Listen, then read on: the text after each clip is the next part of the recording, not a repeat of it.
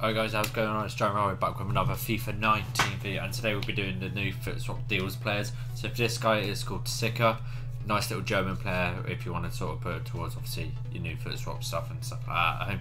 Right, so we're going to get to this, If I've already done it at home, easier for you guys as well. So you need three German players, minimum three nationalities, four rare players, 75 rated and 80 chemistry and 11 players in the squad. So I've got 77 rated and 92 chemistry so it's quite good.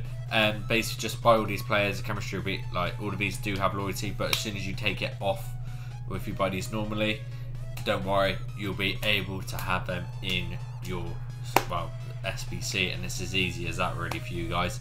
Nice and easy for you guys at home. I hope you enjoy it, and we're going to submit this. So yeah, you can buy these absolutely fine, and you'll be able to get the um, the chemistry rating for that absolutely perfecto. Right, submit that get sicker, and let's see that's how it goes. Oh, I haven't seen one of these in ages. I haven't done any of these in ages, to be honest with you. So you got left back German, whatever club that is. Oh my god, we get sicker. I didn't realise the 60 rated was a walkout. Oh my god.